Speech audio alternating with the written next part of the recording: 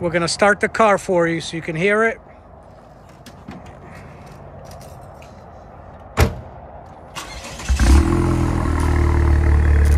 Shut it off for a second. Start it again, show.